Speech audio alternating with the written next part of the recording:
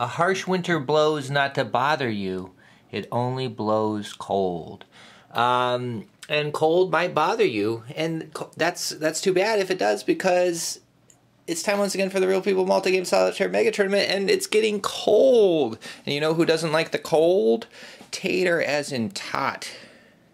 Cold makes her miserable, and we're about to have to resolve this um, this objective, which makes it so that misery is even worse than it normally is because you are trying to get rid of your misery. And if you're trying to get rid of your misery and you fail, you become even more miserable because it, yeah, anyway. I don't have any more anything more to say about that. So we got to deal with the cold, we got to deal with the misery, we got to deal with the wounds. And it's just it's Sonny's not going to worry about that stuff. He wants to get this place patched up. He wants to make it secure. So he's going to go poke about so that he can find some um, components and some wood. He got one wood or one component. He is going to get a wood because he really wants there to be um, patches on these holes. He does not like these holes. He wants those holes patched so the place is more secure and less cold uh, bothers you if the place is more secure. Um, Tater, for her part, she is going to drink her alcohol and improve her misery. Now, her misery is at three. If it got to four, she would fall into a depression. So we're going to get this misery here and put that there. And then what does she want to do? Oh, it raises her fatigue to two.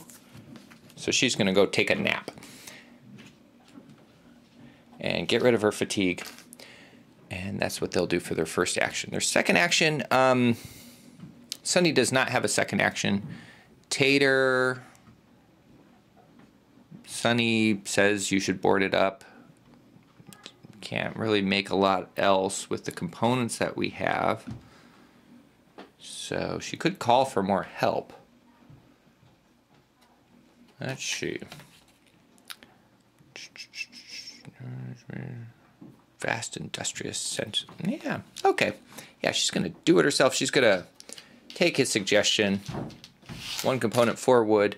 We're going to board up this hole here. It's unsightly. No one likes a big hole in one's abode. And that will be the end. No, she's good because she got rid of her fatigue. So she has one more action. What will she do with that? Now maybe she will go out and try to find someone else because Dick is not a lot of help. And having just two people is difficult. Let's see if she gets shot. She does not get shot. Visitors. Gossip. Look at the top card from one of these decks. That does that's not very satisfying. Your neighbors pay you a visit. Your neighbor. He wants to share some information. All right. Um could look at the locations deck. That's not that interesting. Night raids. Let's look at night raids. That seems like it's the most hobos. Okay, so not much trouble tonight. Hey, I hear some hobos are coming. All right, we're gonna move on. Go here, go here. Time for a bit of scavenging. We were hasty, we remember the snipers, so we're gonna flip it. Um, he has a better chance of avoiding snipers. Sunny does because he has a higher prowess. So, and we know that there's hobos. That was really actually helpful that we, we got that gossip. Um, so Sunny is going to be doing the exploring this time. And he's going to the garage again. Why not? You get more exploration cards. There's not... I guess vegetables pretty useful. But nope, he's going to the garage. He likes the garage. She's going to defend. Dick, again, is going to just sit there. Um, everyone got fed. And so, oh, water-wise, um, he took a hunger, she took a hunger, and Sunny raised his misery, which could be a big problem because he's almost ready to commit suicide. So let's explore. So we got a hiding place. So Sunny could return two hiding or two exploration two hiding cards, two exploration cards, and save it. to use this for a hiding place. All right, so Sunny chose to take this hiding place. Basically what it does is he can return some cards to get this hiding place, and then he can use this hiding place to deal with residents. He can either backstab them or he can uh, void them altogether. All right, does he want to raise the noise by one? Roll for noise? Or look first? I think he wants to look first. Sunny is a little more careful.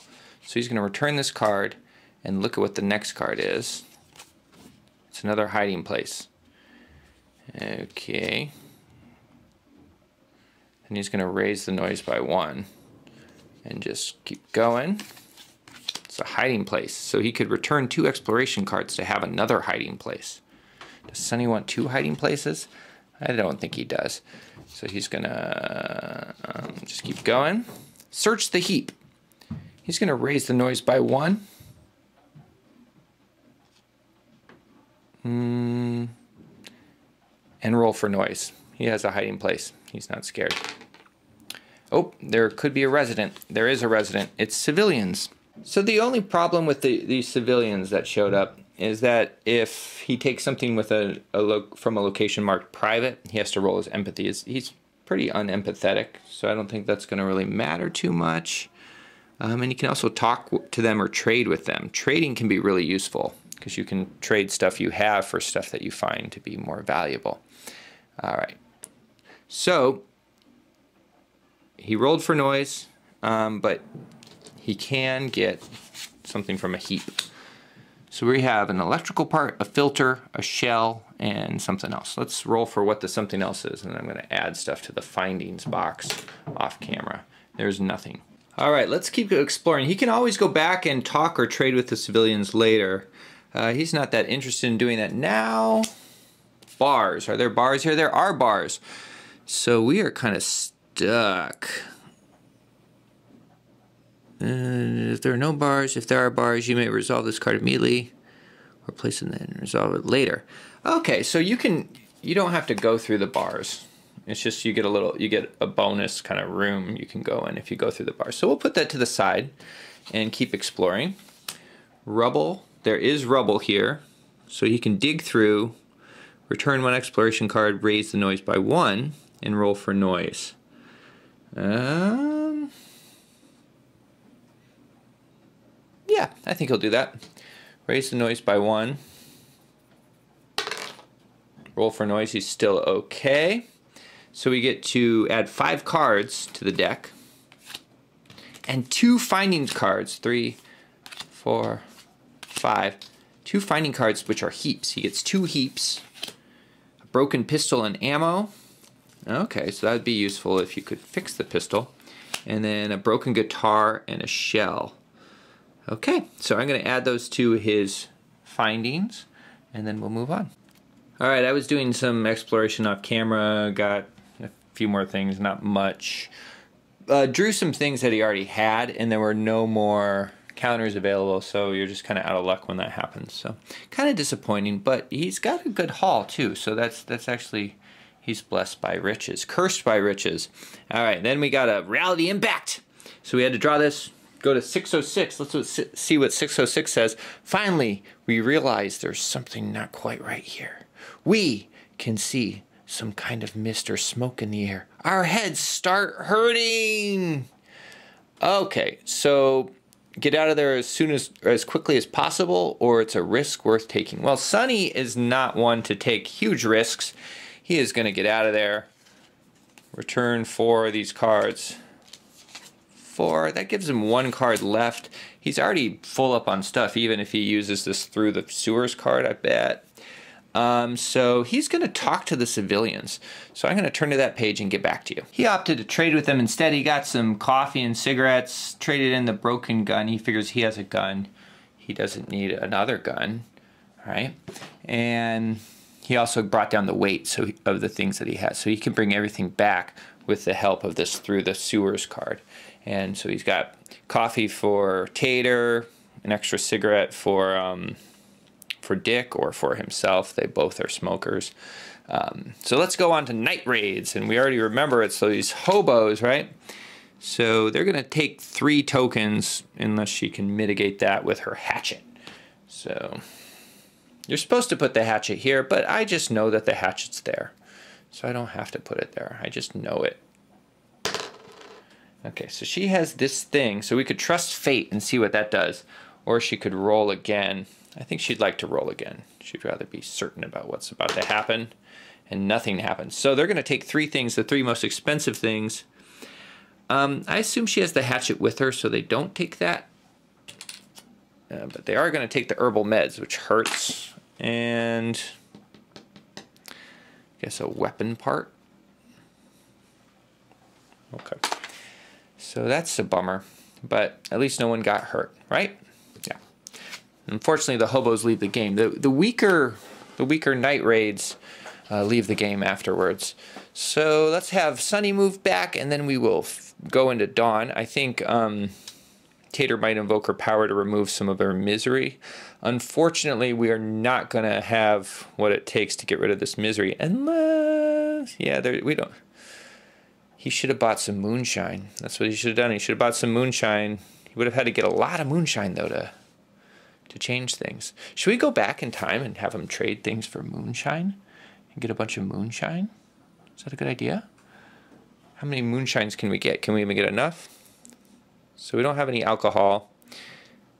I think there's only like two moonshines in the game, so that's not even going to be enough because we got to get it down so that they're all below two. She can move hers below two.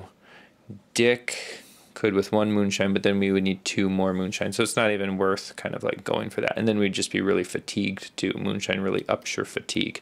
So that's fine. We don't have to travel through time. We can just keep going. Um, move Sunny back. Oh, Sunny back.